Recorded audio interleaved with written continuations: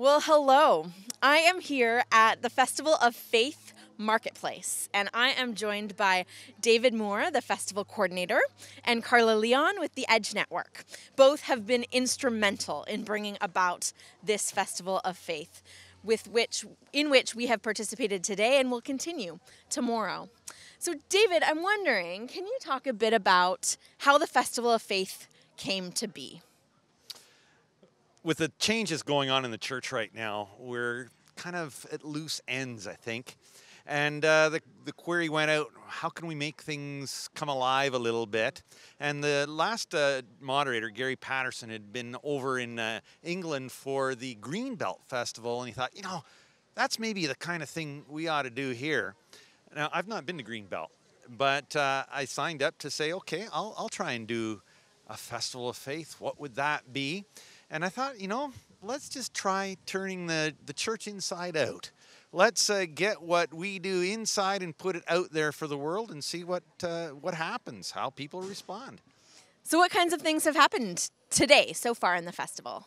Oh, we've ha- just finished an amazing concert with uh, Jana Mark, one of our musicians. She came all the way from Copenhagen, Denmark.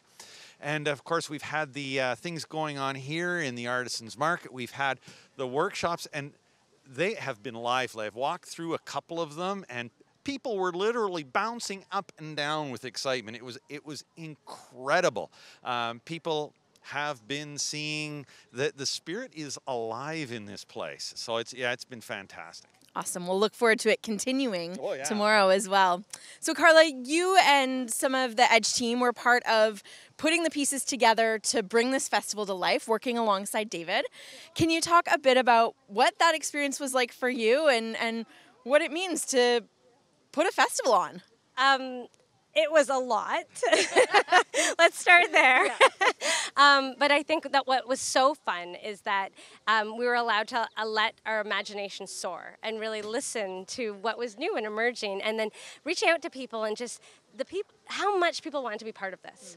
Mm. Um, I mean, we had over 50 artisans tables here with the marketplace today. Um, people were clamoring to be part, to be workshop leaders and sharing the good news. Um, we had about 50 volunteers just for the festival alone.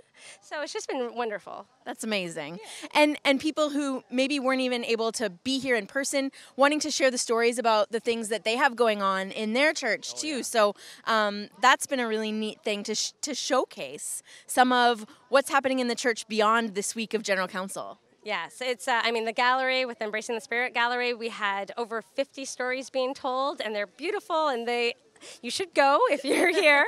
Um, but I think just the the spirit and the life and how much everyone wanted to be part of this, it's a great way to start General Council 43. Oh yeah. Absolutely.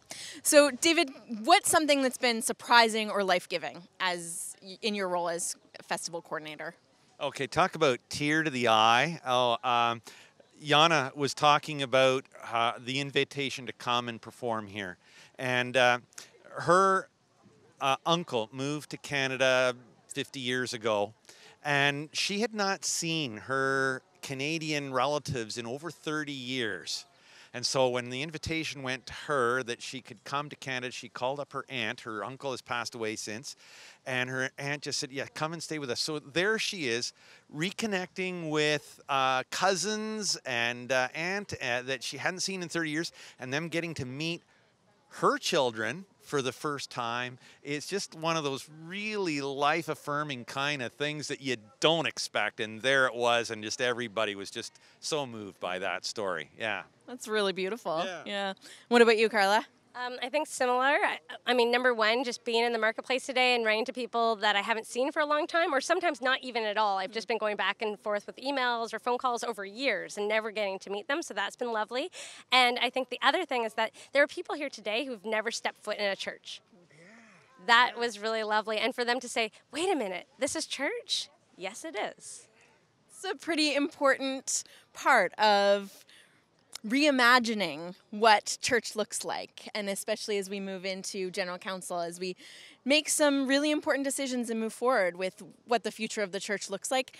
What an amazing way to start that off. Oh, yeah, it's it's the way to go. Yeah, it's the way to go. Well, thank you both so much for all that you've done to bring this to life. And we'll look forward to the festival continuing tomorrow throughout the day. There is the teddy bear or the stuffed animal hugging world record in the afternoon, right after worship.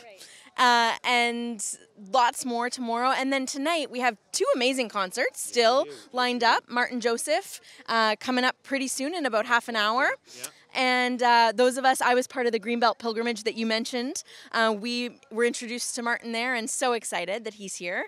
And then Professors of Funk tonight. Yes. Yeah, it's going to be awesome uh, dance party on the patio tonight. Yeah, that uh, it's yeah great concerts and great concerts tomorrow.